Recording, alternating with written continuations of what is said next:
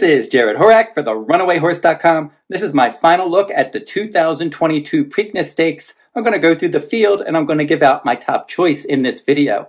Now, if you're interested in my full card analysis for Preakness Day uh, from Pimlico, uh, that is available right now at the runawayhorse.com on my sales page. I finished that Saturday, May 21st, 14 race full card and you can purchase that now. Some other products that I'm offering uh, for Preakness Week, I'm doing the Black Eyed Susan Day Stakes races. That's also available now uh, at therunawayhorse.com for Friday, May 20th, uh, the Preakness Day full card. I mentioned that. If you just want the Preakness analysis only, you can get that. And then the other uh, product I have, uh, if you're interested in getting Preakness Day and Belmont Stakes Day, if you buy those two full cards together, you get a discount instead of buying them separately. So head on over to the runawayhorse.com on my sales page for that information. I'm also offering full cards from Santa Anita Park as well.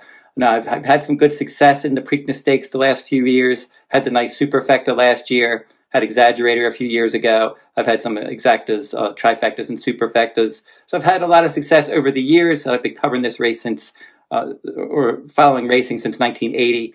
I've been covering uh, Preakness uh, Day for full cards probably since uh, the late 1990s. So I've done a lot of these full cards, had a lot of success at Pimlico. It's it was my uh, hometown track. I know a lot about Pimlico, and and I'm always enjoy the Preakness Stakes. Uh, so all that stuff is available uh, right now if you're interested. Now, before uh, we get into the analysis of this video, I'm just going to quickly go through a few angles that, that, you should be looking for for Preakness Day 2022. And one of the things, uh, first off, it's, it's going to be very hot this year. Typically, that's not the case. It's supposed to be mostly sunny and 96 degrees. So it's going to be very hot. We'll have to see how the horses handle that heat and how the track's playing as well. A lot of times, this is like more of a summertime weather pattern that we're going to have uh, in Baltimore uh, for, for Black Eyed Susan Day and Preakness Day, both days in the 90s.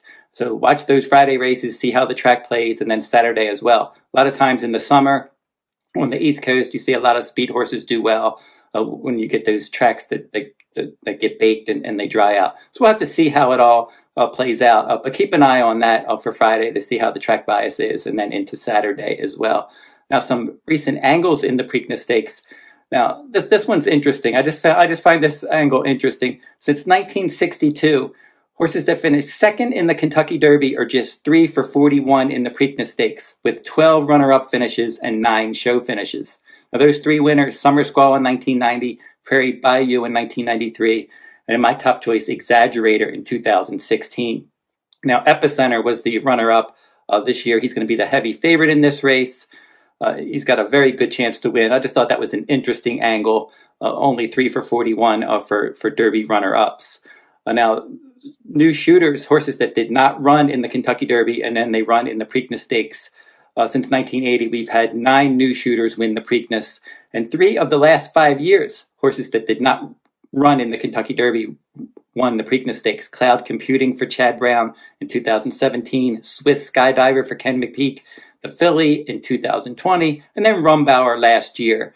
Uh, he he was one that finished third in the Bluegrass Stakes, and he did not run in the Derby, and then he won the Preakness Stakes, and he qualified for the Preakness. He got a free trip, uh, a, free berth to the Preakness uh, for winning the El Camino Real Derby at Golden Gate Fields. Uh, so you could certainly see that fresh horses can win uh, the Preakness Stakes.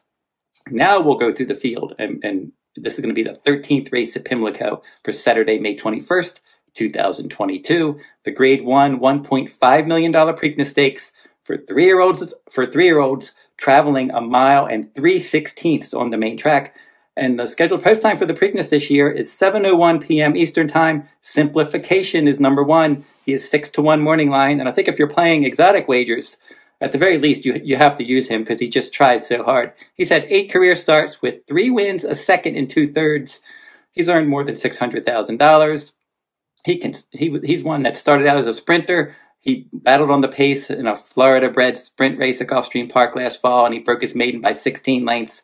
He worked his way into stakes company, the Mucho Macho Man Stakes on January 1st. He wired the field there. That was not a Kentucky Derby points race, but his next start was the Grade 3 Holy Bull. That was a productive race, and he rallied from seventh to finish second. White Abarrio won that one easily. He finished in, in front of Mo Donegal, and he blew the break. We uh, anybody that was handicapping that race, it looked like he was going to be the speed after his wire to wire win in the Mucho Macho Man Stakes, but then uh, he blew the break that day, and he rallied and he tried hard to finish second. The Fountain of Youth Stakes, he rallied again. The pace was quick. He sat back. He rallied outside. He won that one easily. In the Florida Derby, he dueled on the lead and he ended up finishing a clear third. Then in the Kentucky Derby, the pace was ridiculous there. They were going 21 and change for the opening quarter.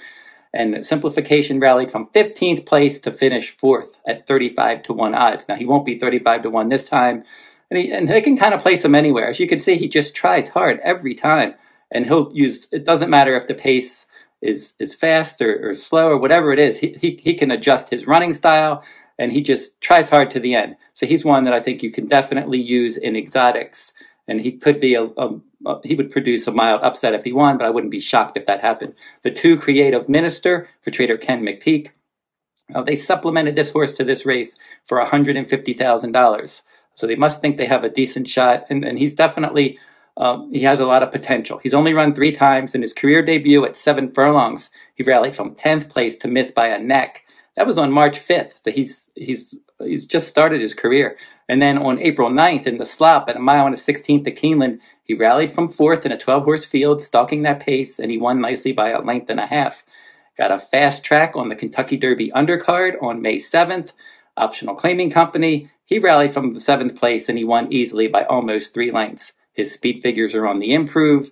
Uh, Creative Cause, the sire, uh, Tapit the Dam Sire. She's got a nice pedigree. They paid 160000 for this one in the 2020 Keeneland sales. He's got enough technical speed to stay within hailing distance, and at 10 to 1, he's a little bit interesting. Number three, Fenwick, he's a 50 to 1 long shot, and he looks overmatched in here, but we probably said the same thing about Rich Strike in the Kentucky Derby, and he pulled off that massive upset there when the pace collapsed. Now, Fenwick uh, was one that just at the last minute they decided to enter this horse. And I think part of it is because there wasn't a lot of pace on paper, and maybe they thought they could get away with uh, getting him uh, close to the lead in here, uh, like he did in his maiden win at a mile and 40 yards at Tampa Bay on a good track on May 12th. And that day, he just got out there from post one. He controlled the pace. He won by more than five lengths. Command Performance, highly regarded um, Todd Pletcher trainee, was the heavy favorite there, and he could not get close to Fenwick that day. And then Fenwick in the Bluegrass Stakes, he made a middle move from seventh to fourth. Then he weakened. He finished 11th, beating 36 lengths. Now his his pace figures are not quick enough to get to the front. His and his maiden speed figure uh, is still not fast enough. Uh, I think all the other entrants in this field have a faster speed figure. So he's going to really have to step up his game. He looks overmatched in this spot, and I don't think he can get the lead either. Number four, Secret Oath, uh, Wayne Lukas's filly, nine to two morning line the sire Arrogate, Quiet, American, the Dam Sire. She's five for eight lifetime with two show finishes, and uh, she's already earned uh, more than $1.29 million in her career. Uh, she's really, when she's, when she's winning, she's winning very nicely, uh, like she did in her maiden win when she won by five at Churchill. Uh, Oaklawn Park Optional Claiming Company, she won by eight. the Martha Washington Stakes, she won by seven. Another seven length win in the Honeybee. She tried the males in the Arkansas Derby. Uh, she made a wide premature move there, and she just uh, ended up third, uh, and a clear third that day. She just missed second. Uh, and then she bounced back in the Kentucky Oaks with another win, uh, rallying from off the pace from the inside post. They purposely got her off the inside, moved her outside, and that outside trip was the key there because Nest was the favorite and she wanted to be outside, but she could never make it outside. So that Secret Oath from that inside post made it outside, and she won nicely. Now she's coming back in two weeks, and we'll see if she can duplicate her last. Uh, number five, early voting, seven to two morning line for Chad Brown. This one had enough points to run in the Kentucky Derby, but Chad Brown always wanted to skip the Derby and point to the Preakness because he thought a horse with three starts, so lightly raced, was just not did not have enough experience for the Kentucky Derby and he looks very smart after that decision because the way the pace played out, early voting likes to be on the pace. He would have been cooked on that Kentucky Derby pace. His one mile debut at, late last year at Aqueduct, he dueled on the lead. He won nicely. The grade three Withers Stakes in the mud, he just took over early and he just dominated that race. Un your runner up finisher there, came back and won the grade two Rebel. And then in the Wood Memorial, he got out there and he controlled the pace Uh, but Mo Donegal ran him down, having a great inside closing trip. Uh, uh he has a lot of, uh, like I said, he has a lot of ability. Only three starts. Uh, this son of Gunrunner, Tiznow, the dam sire. Chad Brown did not want to run him against 20 horses last time. Much shorter field with less pace. He should make his presence felt throughout. Number six, Happy Jack has not been successful in the stakes ranks. He broke his maiden in January at Santa Anita at six furlongs, but since then, the Robert Lewis Stakes, he was beaten 27 lengths. He's beaten 10 lengths, finishing third in the San Felipe. He was third, beaten 12 lengths in the Santa Anita Derby. In the Kentucky Derby, he was beaten 19 lengths back in 14th place. He's putting blinkers on. Tyler Gaffalione is his new rider. And I guess a, a, minor word wouldn't be impossible just because after we saw in the Kentucky Derby as well, we've seen a lot of these races. You'll see long shots sneak in there. Wouldn't be shocked if he finished third or fourth. Just does a win would be very surprising. Uh, Armagnac is number seven for trainer Tim Yakteen. He's 12 to 1 morning line. Another late addition to this race because of the lack of pace. They decided to throw him in there. And he's one that looked good in his maiden win going wire to wire in January. He was beaten 27 lengths in the San Felipe Stakes. He was beaten 12 lengths in the Santa Anita Derby. And then they took blinkers off in, in an optional claiming race in a six horse field. He was able to get out there and control the pace, and he won easily by four lengths. Um, High Connection was the heavy favorite there. He was he was second best. Uh, so Armagnac's going to try to impact the pace under his new rider, Irad Ortiz Jr. He does have the pace figures to make an impact early, but he's coming back uh, even less than two weeks because he ran his last win was the day after the Kentucky Derby, and now he's got to ship all the way across the country as well. Epicenter is your heavy morning line favorite at six to five. He's going to go off lower than that. He's really done nothing wrong in his career. Seven wins, um, seven starts, four wins, two seconds. He's earned more than $1.6 million in his career. Broke his maiden at Churchill Downs easily, right up on the pace. He jumped into a Kentucky Derby points race in his third career start after breaking his maiden second time out. And in that gun runner stakes at Fairgrounds, he battled on the pace and he won by six.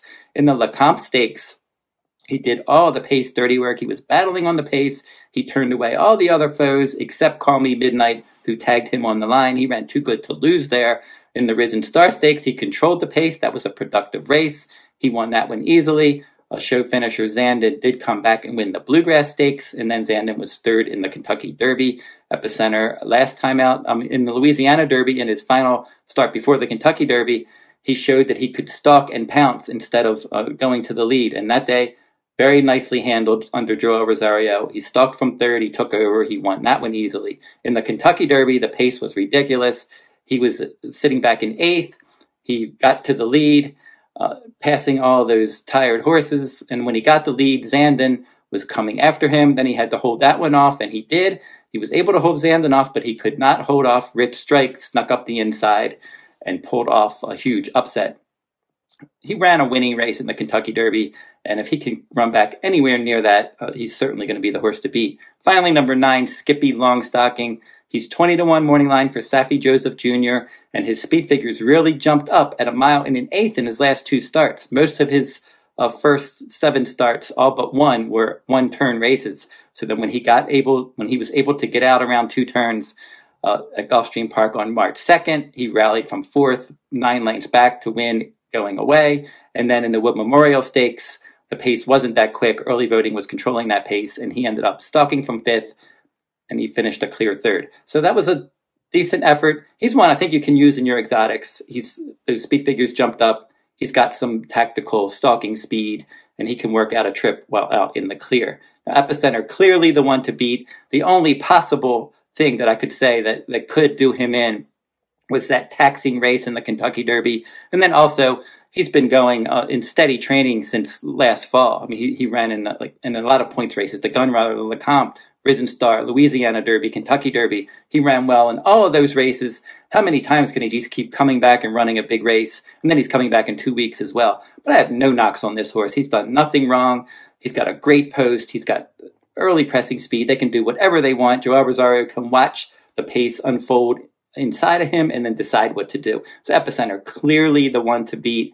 And I don't blame anybody for picking him on top. Uh, but I'm going to go with uh, early voting as my top choice for the for the Preakness Stakes this year. He's the only horse uh, out of the main contenders that's not coming back in two weeks. He's had six weeks in between starts, and in all of his races, he's had very good spacing. He started his career on December 18th, and then he didn't run again until February 5th, and then he ran on April 9th. So he's had good spacing in between all of his starts, and that's one of the things that Chad Brown wanted to do. Uh, that's why he didn't want to run in the Kentucky Derby as well. He wanted better spacing. Uh, he wanted a race uh, with less horses, less pace, and a little bit of a shorter distance, and he gets all of that. Maybe he catches these horses at the right time. He had a bullet workout on May 13th, and I think that he's just ready to get out there and run a good race. Now, if he can get out there and control the pace, he could be tough to catch. Uh, but Epicenter's never going to be that far back, and I would not be surprised if he won it all. But I'm going to go with uh, early voting. He looks a lot like cloud computing for Chad Brown. Uh, that one only had three starts at Aqueduct as well and he comes in with almost the identical pattern and early voting with that decent speed figure in the Wood Memorial. And then Mo Donegal ended up, up beating him there. And then Mo Donegal was not disgraced in the Kentucky Derby, rallying very wide to finish fifth. And then, as I said, Un Ojo, who he beat, uh, came back and won uh, the the um, Rebel Stakes. And then Mo Donegal was competitive and actually defeated Zandon. And then Zandon's one of the top three year olds this year. So early voting has some company lines that says he can run with this kind of company. And I think uh, maybe he can wire the field in here. So early voting is my top choice over Epicenter in the 2022 Preakness Stakes. So don't forget to like, subscribe, and comment if you like this content. And that will wrap up this video. Again, head on over to therunawayhorse.com, all my full card and any of that information if you're interested in any of that. Uh, feel free to go over there and, and, and purchase those. I worked very hard on these full cards, and hopefully I can have a lot of good winners. I had a lot of success on Kentucky Derby Day with six top choice winners. Let's see in these in the 14 race Kentucky Derby and Preakness Day full card if I can have even more success and get the Preakness home as well and get some nice winning tickets there. Uh, so that'll wrap up this video. I'll be back next week. I'll recap the Preakness and I'll start previewing the Belmont Stakes. Until then, good luck at the races. Good luck Preakness Saturday.